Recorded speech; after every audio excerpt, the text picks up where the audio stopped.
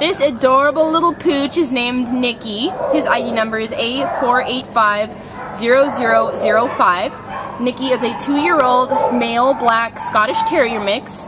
Came to the Baldwin Park Animal Care Center as a stray from Azusa on June 29th.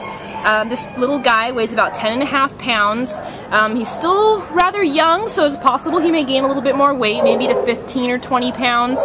We're not quite sure. Um, but all we know is that Nicky is adorable and sweet and loving, um, and we might as well just call him a puppy because he acts like a puppy and he looks like a puppy.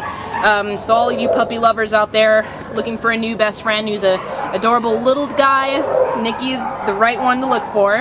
Um, gets along really well with other dogs, both big and small. He has two small kennel mates that he really gets along with.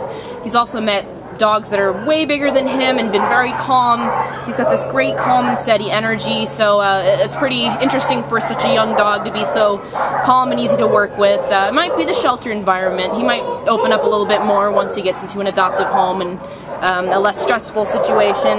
Um, he walks very well on leash. He doesn't pull at all, but uh, his favorite thing is to be picked up and carried and held. He loves the reassurance. He's definitely a people-oriented pup, um, so it's going to be no problem for him to find a new home and bond with a, a new adoptive parent or family, whichever. Uh, we think Nicky will fit really well in any home whatsoever, um, even a home with other dogs, single people, family, kids. He's just going to be perfect. So if you're looking for a new best friend, Nicky is available at the Baldwin Park Shelter and he's looking for a new home. So come and take a look. Hi, Nicky!